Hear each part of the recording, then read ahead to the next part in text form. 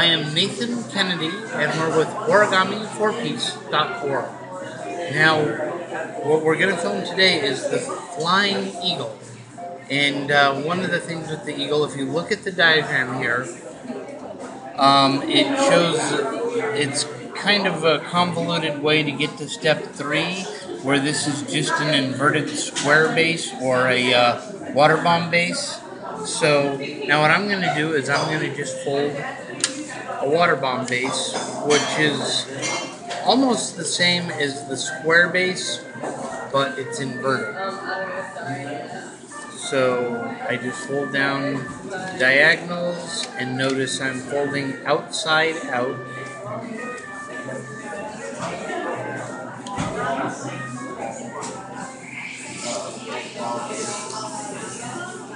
Then I fold down the horizontal and the vertical, outside out, or uh, inside out, I mean.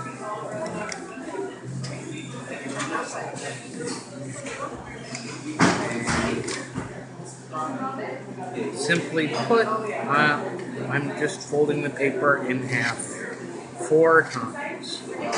Now, this is uh, what is frequently known as the water bomb base, and then here's what is known as the square base. So we'll start from here. And the first thing we want to do, we want to uh, fold the sides in, and now look at that. It looks just like step three. Now, the first thing we want to do is we want to open this up and bring it down and let's see it's a little bit easier to to line it up looking at the opposite side.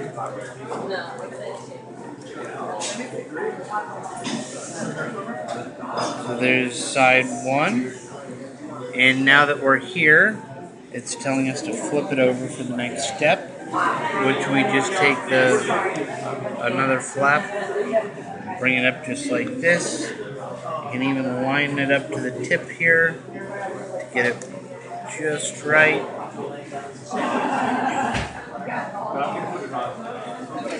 Now, what we're supposed to do is a uh, a petal fold. Bringing this up here, and we just line the tip up with the center, just like that, and then fold the uh, sides down.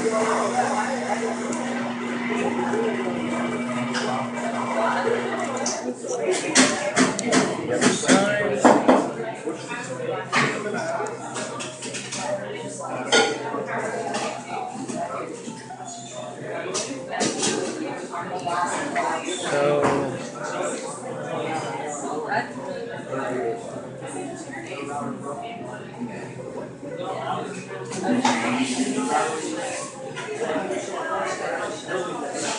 it looks just like that. Step 8. Now it's telling us to flip this over. And we also want to flip the diagram over.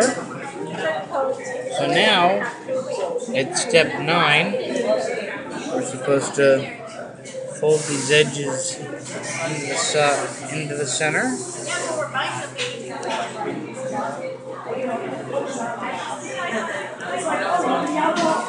Now it looks just like that. Step 10. Now we're supposed to fold this down.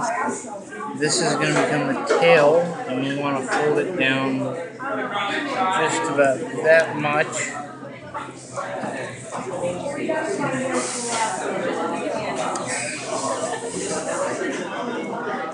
Step 11. Now what it's telling us to do is to fold these sides in and it looks best if you just pretty much leave the wings alone here. So it'll look like that. And the next step here, on step 12, it is telling us to fold the whole figure in half, just like this. Then what we want to do is bring this down to create the uh, hook flying eagle. Fold it just like that. Then I uh, also need to fold the tail in this way. Like this. Fold this down. Create a little bit of a hook right there. Then um, fold this down just like this to create the tail. And now we're at this point, and what we want to do is hold this down just like that. Now I want to do an inverted fold or a zigzag fold. So I fold up like that first, and then I bring it back down just like that. Now I uh, fold this in for the hook, or for the uh.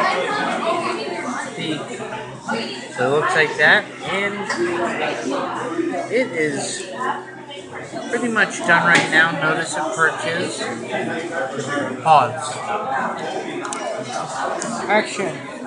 We're back, and what you can do with this little guy right here is if you have a cup or something to put him on, he will he will stand. And also with the wings, you can kind of them come out just like that. So there we have the finished flying.